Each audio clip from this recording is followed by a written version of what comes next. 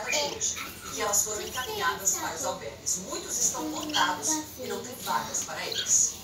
O cantor gospel que levou